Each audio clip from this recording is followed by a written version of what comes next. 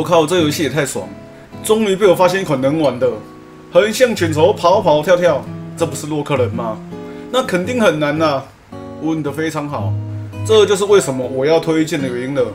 因为那种让人崩溃的设计，这游戏里都有大改善。首先，冲刺按钮的位置整个就是爽，跳在右，冲刺在左，这样操作起来手就不会打结。逼你用单手去按两颗钮。录制影片时我刚玩，可以看出来妥妥的不熟练，但按了一阵子之后就很快适应。它的配置真的做得很好，跟洛克人一样要玄关，电子因为快感十足啊。它的攻击射程非常短啊，但打出去超级爽快，爆破物品效果够夸张，而且对敌还有连段效果。看到怪被扁到不能还手，那那个心情就舒服了。游戏用色也很厉害，虽然是古早味风格，但很明确的把背景机关跟可破坏物品分开，一眼看过去就知道攻略方向。秘密通道很明显，智商再也不会被侮辱，那否则每次查攻略都会发现一大堆复制文，看了心里就痛苦。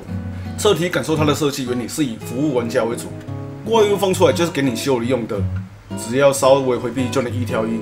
简简单单就能打得过去，所以虽然看起来像洛克人，但骨子里是吞食天地。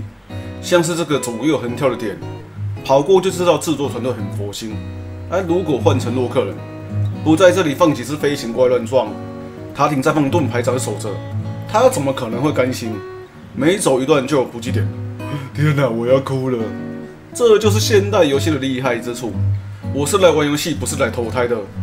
每次过点就要从头开始打。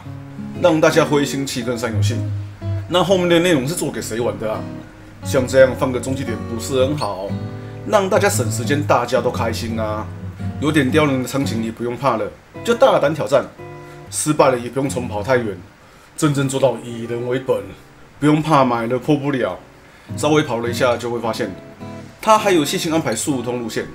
当你全速往前冲的时候，敌人就会刚好在可以打死的位置。每个场景的衔接非常完美，这样就有多次游历价值。就算破关了，也想要再冲一次，看看自己能多快。难度的部分，它有做好分流，像这种特别变态的挑战，就会放在非主线的地方。